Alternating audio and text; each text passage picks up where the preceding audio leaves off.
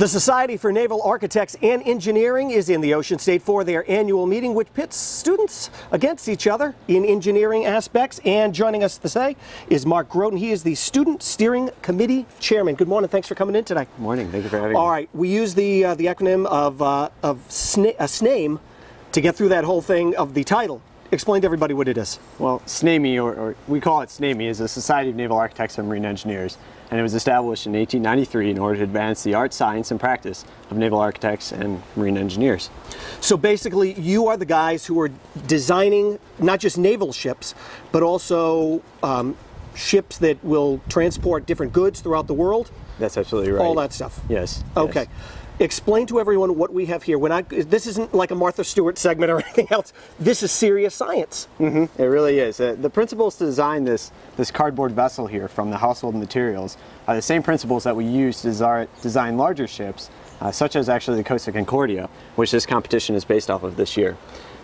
And how long does it take to actually put this together? Because there, it's not for us looking at home, you know, watching at home.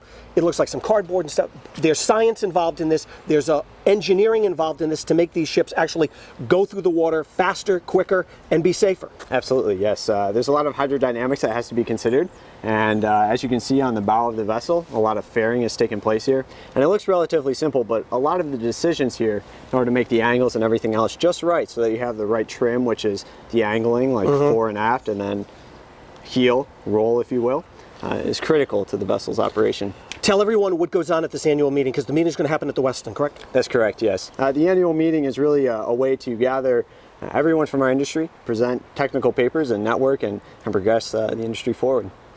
You are a bunch of smart people. Very smart people who really know their stuff. All right, we have a demonstration set up. so Yes, do. you're going to explain to us, walk us through what we actually need to build and how the uh, ship is actually going to move through the water, correct? Sure, yes. Uh, so, as you can see here, all the materials used to build the ship here are, are from household.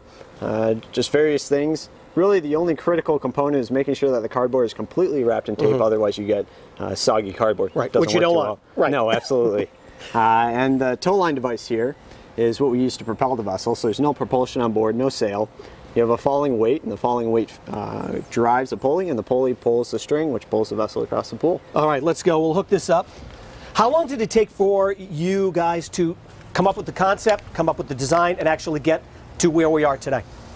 Several hundred hours. Several hundred hours, really. Yes, uh, two years. And has this been something you've always been interested in? Uh, naval architecture and marine engineering, absolutely, yes. A young Um, also, explain to everyone you just put a uh, plastic, the water bottle in there. What's that going to do? The water bottle is a cargo, so that represents anything from passengers to oil and, and other cargoes of that nature that a ship would carry. All right, and tell everyone how this is actually going to propel itself through the water. So the string that's attached to the front of the vessel with the paper clip is uh, linked to the falling mass on the Uh-huh. other end here, and as I let go of the vessel, the falling weight is going to go down and it's going to pull the, the ship across the, the pool here, All right, here we go. Look at that. just like that. And that moves it through the water. All does. right, perfect, guys. Thanks so much for coming in. It's great to have you here today. And if you would like more information about this, you can head to our website, WPRI.com.